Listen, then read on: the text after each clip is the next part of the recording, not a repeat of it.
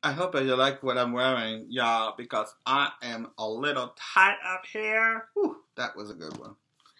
Yes, I love red. Red represents love. It's all about Valentine's Day coming in February 14th. Well, we are about to read another book. And this book is very important for you because you don't know how we make clothes. And one of the books the best book I've seen so far that talks about it in a certain way is titled Bit by Bit. And it's written by Stephen Sanfield. Stephen, Steve Stanfield, Steve, Steve Sanfield is a very good author of writing this book because this gentleman here is a tailor and he decides to make a coat in the story. And in the story, the coat starts getting ripped and starts tearing, and he keeps changing it to different types of clothing that the tailor can make until he finally makes one, and that one is the one that his child will carry on, who happens to be the one that speaks in the story. Isn't that interesting? Let's see Bit by Bit by Stephen Sanfield.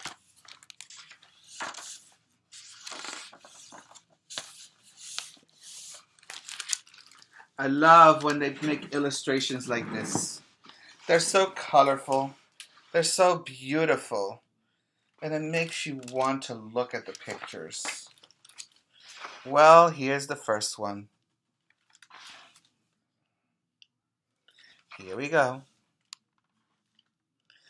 I am a storyteller, which means that I tell stories all kinds of stories serious stories and funny stories, cloudy stories and sunny stories. Right now, I am going to tell you a story about an old friend of mine who I've never met, but who I know quite well. His name is Zundel. Zundel starts with the letter Z, and this week's the letter Z. Wow, Zundel. And he lives across many seas in a small village neither you nor I have ever been to. So this is Zundel.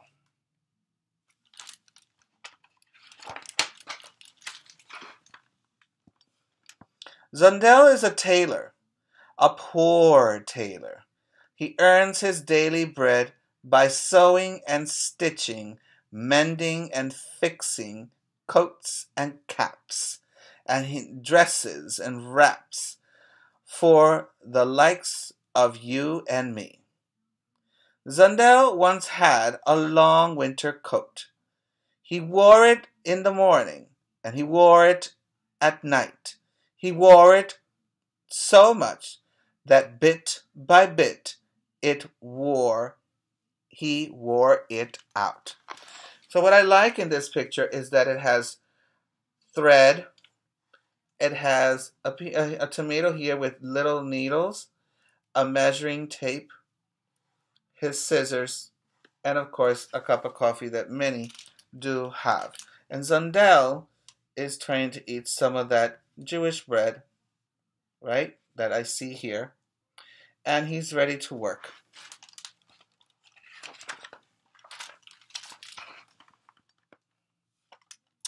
Zundel continued to sew and stitch and mend and fix until, bit by bit, he saved enough pennies to buy himself a beautiful piece of cloth.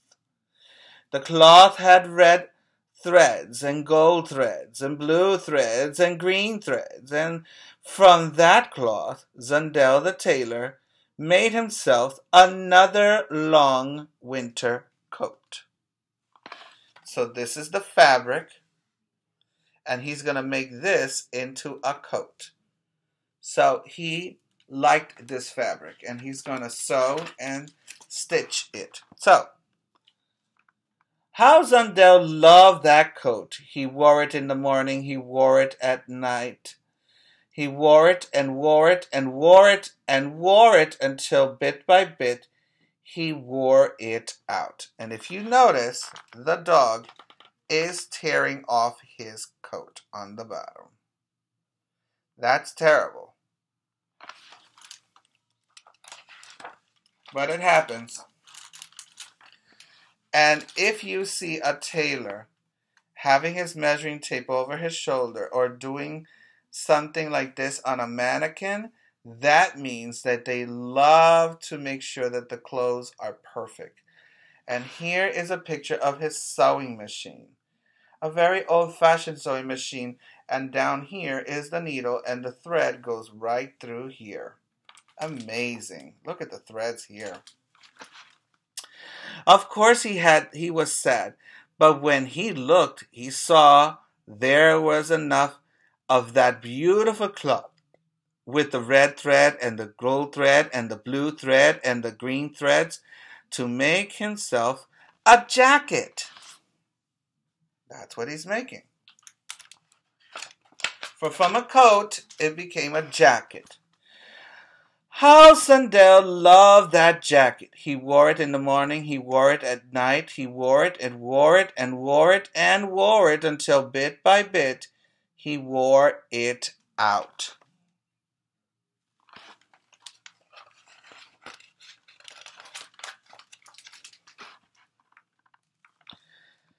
Zundel was even sadder this time, but when he looked, he was there.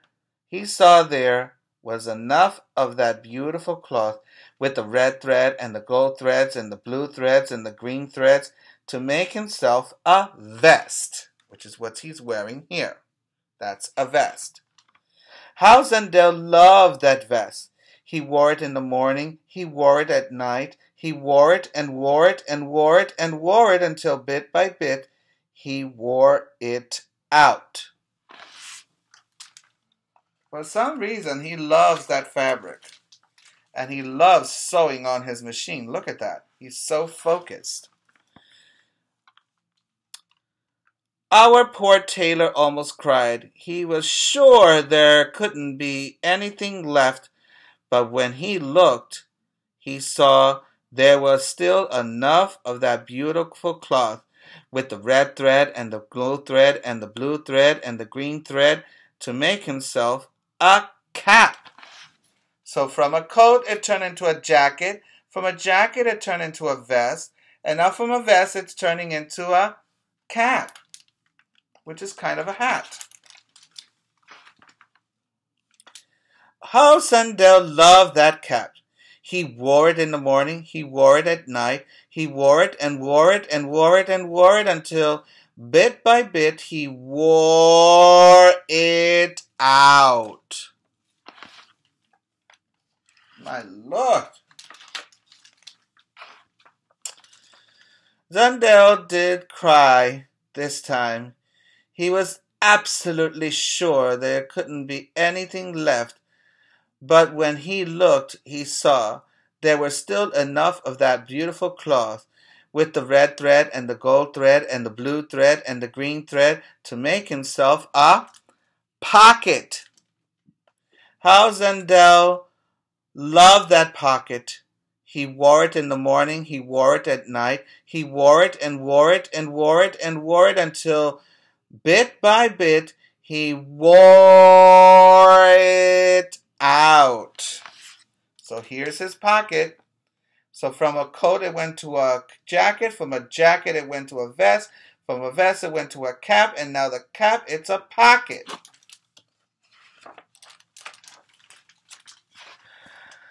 Through the tears, Zundel the tailor held his breath. Surely there could be nothing left. He but when he looked, he saw. There was just barely enough of that beautiful cloth with the red thread and the gold thread and the blue thread and the green thread to make himself a button.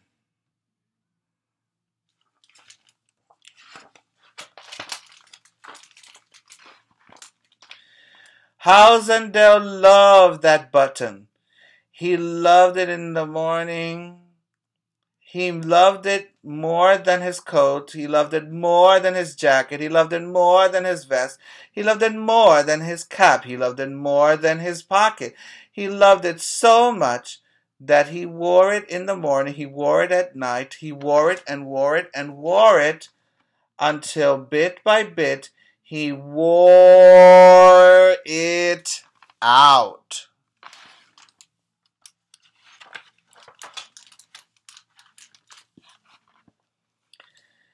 Zundel was absolutely, completely, 100% certain there could be nothing left, and when he looked, he saw he was right.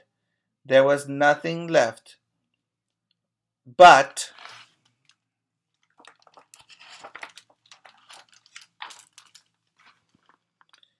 when he looked, I saw.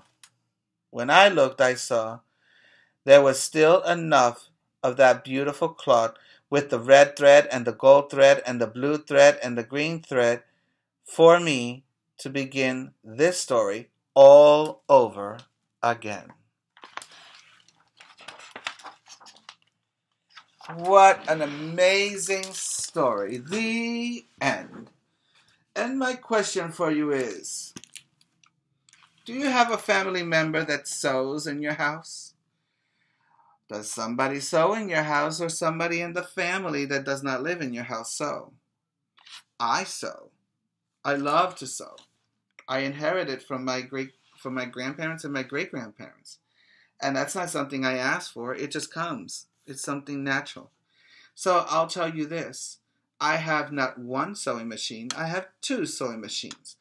I don't have one fabric like in the story. I have many fabrics. I've made masks. I've made um, hats. I've made skirts. I've made costumes. All right, and I have some more here, and I will be showing you at some time this unit of clothes. I'm going to show you my sewing machine.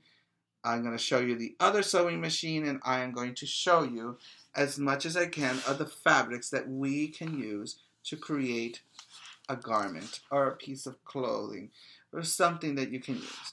So, that being said, this was once a fabric. It was at the fabric store, and somebody bought it and designed this beautiful red shirt. And now I wear it. You can do the same. If you don't know what to do, why don't you just try learning from your grandparents? From your great grandparents something that you never did before. I did. And I love them and I appreciate what I have. Because smart is not something you are, smart is something you get.